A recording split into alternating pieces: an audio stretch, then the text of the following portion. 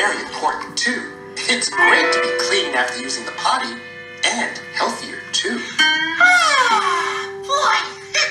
I feel much better now. Much better. That's great, Tutter. Yeah. But are you sure you did everything?